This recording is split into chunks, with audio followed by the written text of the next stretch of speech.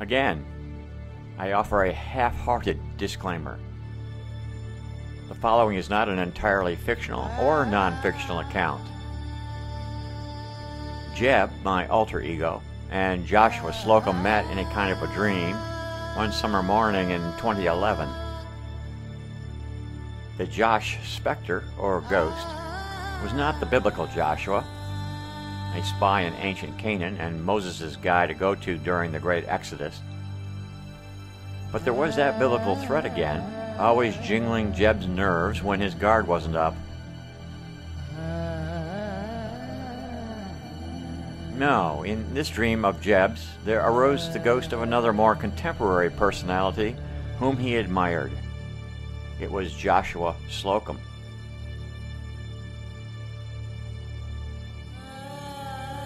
Slocum, a sailor by disposition, began an epic sea journey out of Boston in the year 1895.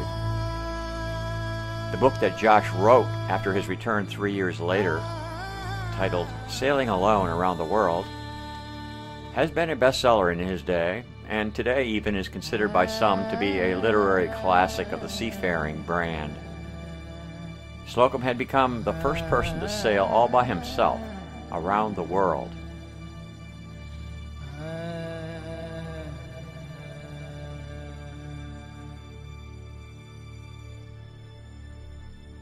In my dream, a sketchy conversation began. Are you Slocum? Jeb queried thoughtfully. I am, Josh answered faintly in the hazy thought-light. Where art thou? pressed Jeb. I'm here with you after exploring the deep and other places, answered Josh. Alone? Are you alone? Jeff questioned him further. Slocum responded, Of course not. I am never alone, but I am a solo traveler. On your own journey, you can compare notes with me if you wish. Time isn't a fixed thing.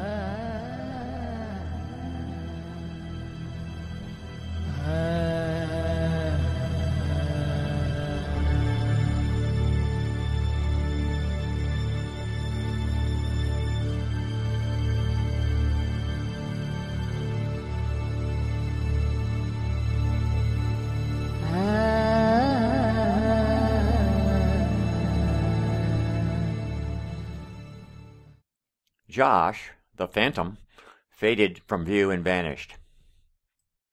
Jeb awoke fully and pondered. The lives of Jeb and Josh were a century apart, if time is more than a mere invention.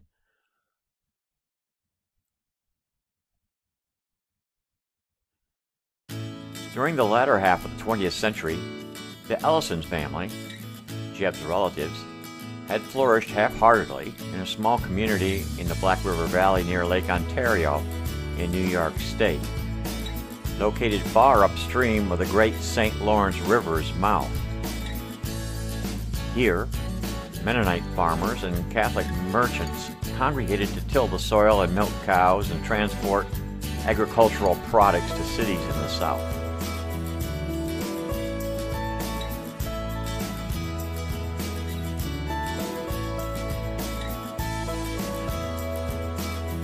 Joshua Slocum, by contrast, was born downriver, far to the east, at the family's farmhouse in Mount Hanley, Nova Scotia, on February 20, 1844. He learned to read and write at the nearby Mount Hanley School. His earliest ventures as a young adult were made on coastal schooners operating out of the small ports like Fort George and Cottage Cove along the Bay of Fundy.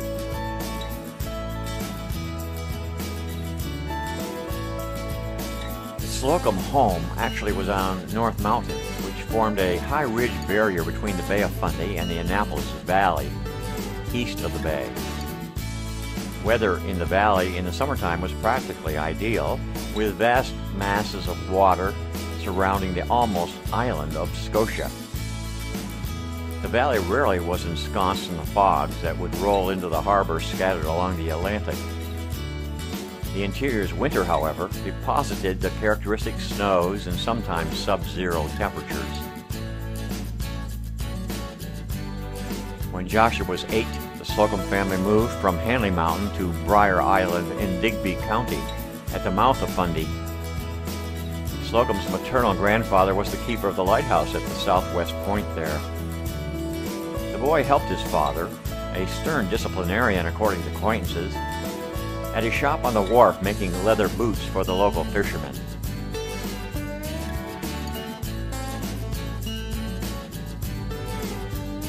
However, he found the scent of salt air much more alluring than the smell of shoe leather. He yearned for a life of adventure at sea, away from his demanding life at home among ten brothers and sisters. Slocum, it is said, had a serene confidence in himself and his Maker.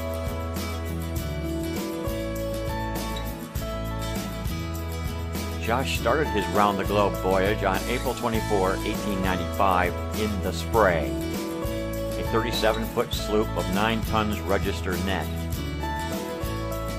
The financial outlay for building his Spray was less than $600. More than three years later, on June 27, 1898, he arrived in Newport, Rhode Island, after completing 46,000 miles entirely by sail and alone.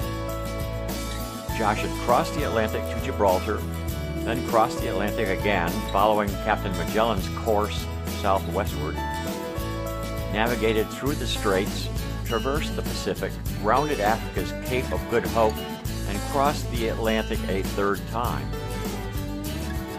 He was the first person to complete this circumnavigation of the globe by sail and alone.